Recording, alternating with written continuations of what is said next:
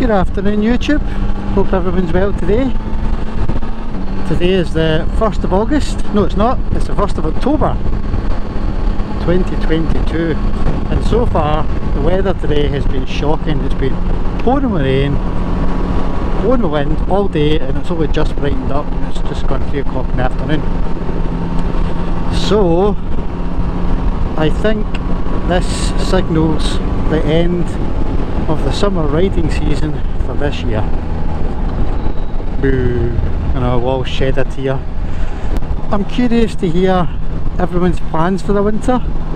Does your bike get tipped away at the end of the season and pulled out again in spring or do you keep it going all through the winter, ride all year or do you keep it available so that should you get a nice day you can get out for a ride? What I tend to do is I'll keep my bike ready to go in the garage. Uh, so if I want to pop out on a ride on a nice day I can do that. I think it's important to ride all year round anyway. You need to keep your skills up during the winter because if you miss the the winter season which in Scotland can be quite a long amount of time you jump back on the bike in the spring you, you can be a bit rusty. So I do think it's a good idea to keep riding uh, through the winter also because then you're used to riding in weather that's not always ideal. So if you're out in the summer and you get caught in a sudden downpour you're not used to it then it can be a wee bit unnerving. So I like to keep my skills up during the winter.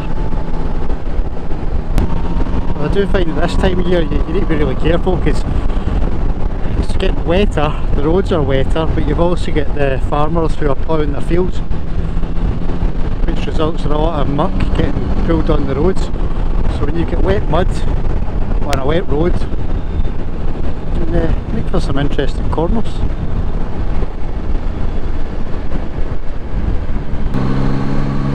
And of course you've got the other added uh, danger of wet leaves coming off the trees now. We've had quite a mild September in Ayrshire so there's not been that many leaves coming down yet. So the weather's just started to turn. Much wetter and colder this last couple of days so I think any day now there's going to be a leaf dump or just the trees decide right winter's here and uh, all the leaves suddenly come down in one go.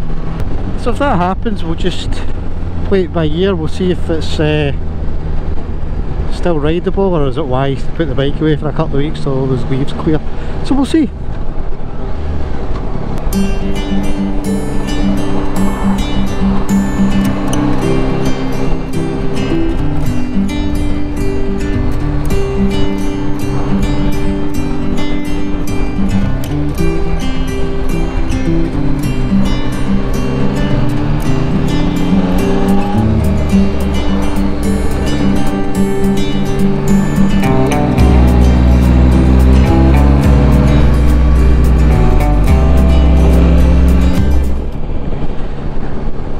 out the window before I left and I was kind of like, I, will I, eh, I'll get soaked, it's cold, it's windy.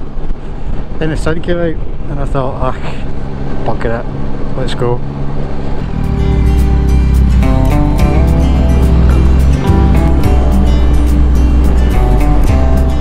So I never actually looked where this is taking me. Again, I just went on to Calimoto, chose a random distance, I think it was about, I can't remember, 40 or something. Put my direction which was generally east because it looked like there was going to be less rain east. Uh, hit go.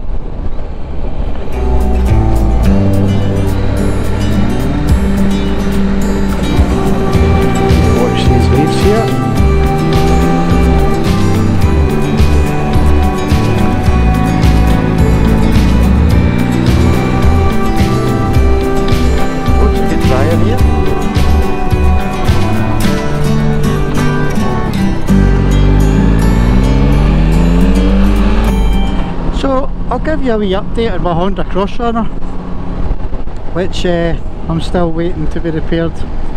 I spoke to the dealership that's doing the insurance work a couple of days ago and they're still waiting for some parts Now the parts that are waiting for are set engine bars and a couple of panels. The problem being they're on back order and they're not expected to be available to the end of November. Which is quite a while. So what I've done, uh, because obviously I've got this hire bike and this hire bike is costing the insurance company quite a bit of money.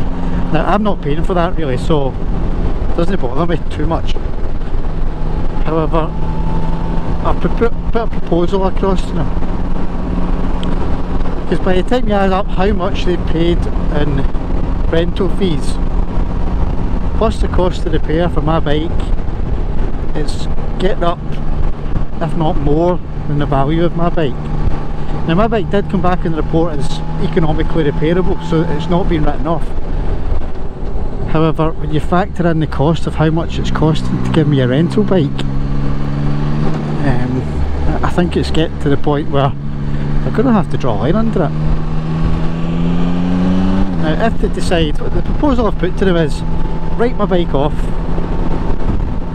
that way you get rid of the hire, you don't need to pay the hire fees anymore.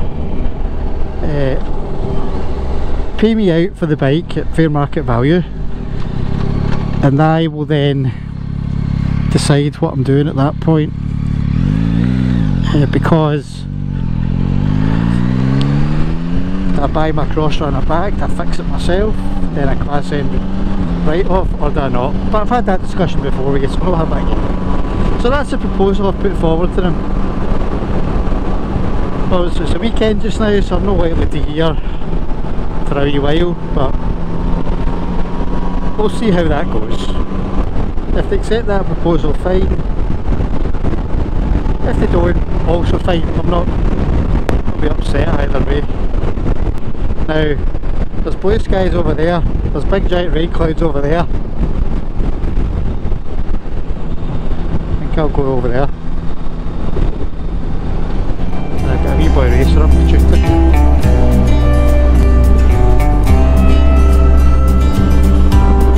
Actually, I might get round this quite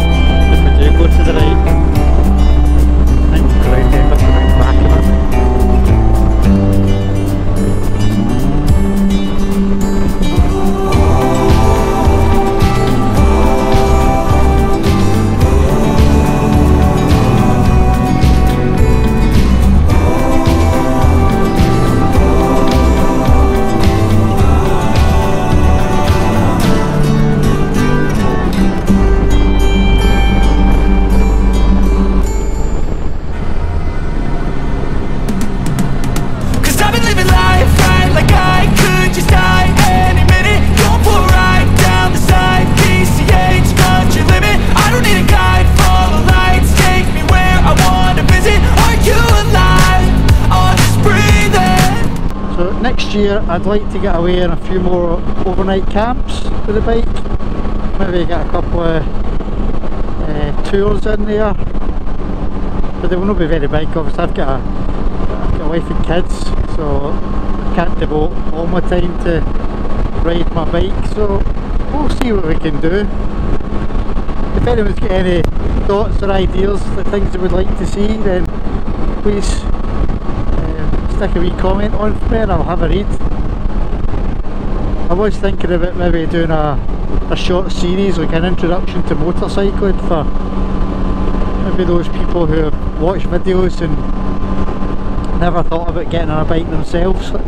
Just basic things like what are the controls on a bike, um, the mechanics of a bike, things you need to look for, the different styles of bike, that kind of idea.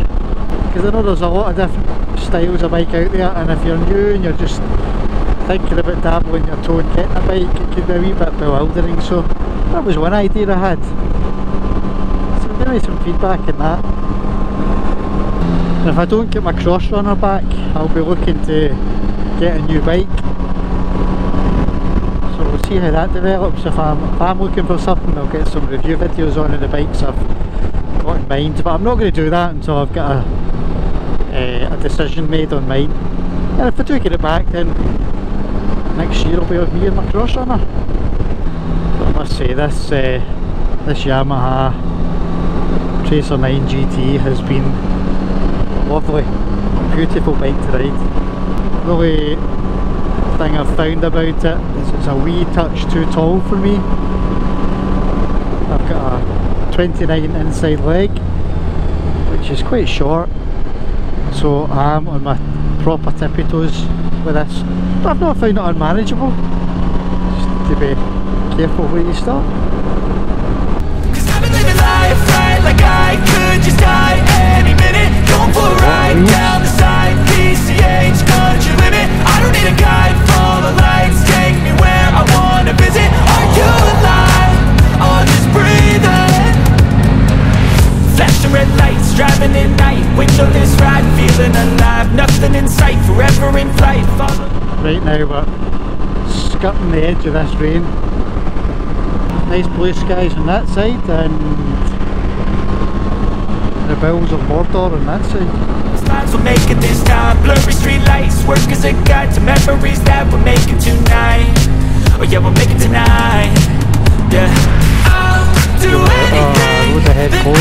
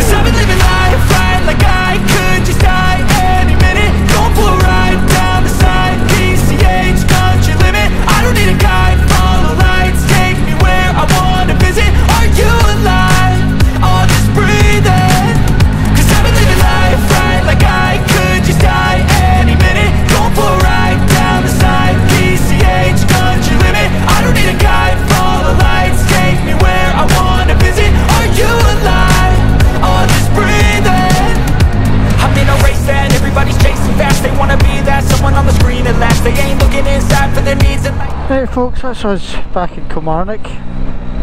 We managed to avoid most of the rain. So thanks very much for watching today. That's the, the end of the ride. I'm going to pop into the hub, full armour, uh, Motorcycle Ministries. Going to pop in there for a coffee. So if you enjoyed it today, and I hope you enjoyed your season this year. So have a couple of sporadic rides during the winter, but mostly I guess for a lot of people see you in the spring. Ride safe everyone.